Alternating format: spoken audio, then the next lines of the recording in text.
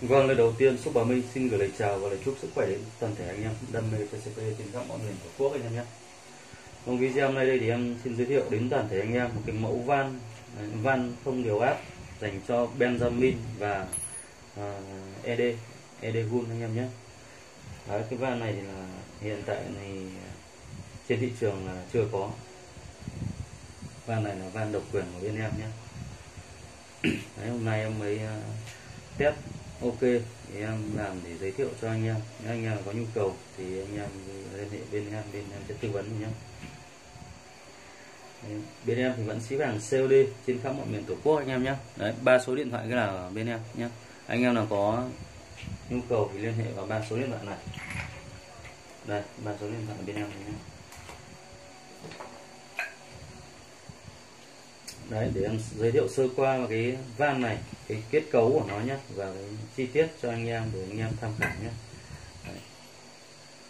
trước kia trên thị trường cũng có một cái ừ, mẫu van như này nhưng lại là cái cái, cái, cái, cái, cái chất lượng nó không đảm bảo anh em. Đấy thì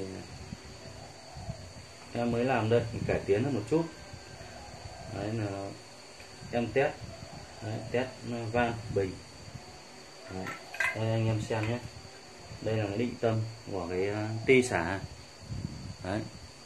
Gen cực kỳ là đẹp luôn. Đấy, toàn bộ là ti xả bằng inox nhé. Đấy, ti xả bằng inox này. lò xo inox nhé. Đấy, lò xo inox. Đấy. đây cái đầu xả của cái van đây. Thì lát nữa em sẽ ờ, giáp cho anh em một cái van hoàn thiện. Anh em xem nhé. Đây thì em đã giáp hết rồi hoàn thiện rồi. Nên lát nữa em sẽ giáp chi tiết cho anh em xem. Một cây là một cái van hoàn thiện. Đây hiện tại em đang test hơi. Bình ngắn bình dài nhé. Đây nó có nắp ừ, à, à, nắp trục của cái van nạp anh em nhé. Đấy, rất chi là ok. Nó giống như cái nắp trục của van Superwell.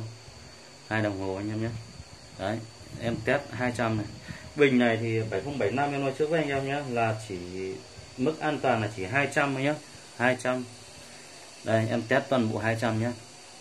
Đấy, mức là chỉ 200 anh em nhé vì à, đấy là mức an toàn của nhà sản xuất người ta cho phép là 200 thì mình cũng chỉ dùng như thế độ ở lại thôi. Đấy, à, để cho đảm bảo an toàn cho mình. Thì anh em nên à, bơm 200 cân thôi mình dùng hết thì mình lại bơm đây toàn bộ là em test 200 anh em nhé đây. anh em thích chơi bình ngắn bình dài Đấy, tùy tùy sở thích của anh em nhé anh em dùng cho lục được dùng cho ben này hoặc là dùng cho ed à, đều được Đấy. ben băng gấp Đấy. anh em chơi thoải mái nhé đây là để em ráp giáp một cây à, à một cái à, van chi tiết cho anh em xem đây cái cơ cấu đây là cái ổ van này.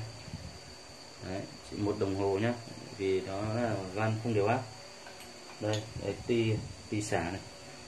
Đấy, một bộ của nó ti xả này nó so này. đấy đầu xả van này. Này bằng đồng nhá. Đấy cái định tâm của cái ti xả này bằng đồng anh em nhé đấy anh em xoáy đây.